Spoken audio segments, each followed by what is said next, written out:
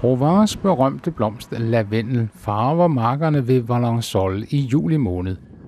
Lavendel kendetegner Provence mere end noget andet, så der er rigeligt med muligheder for at få et helt specielt syn, og høsten af denne utroligt duftende blomst fortsætter til september.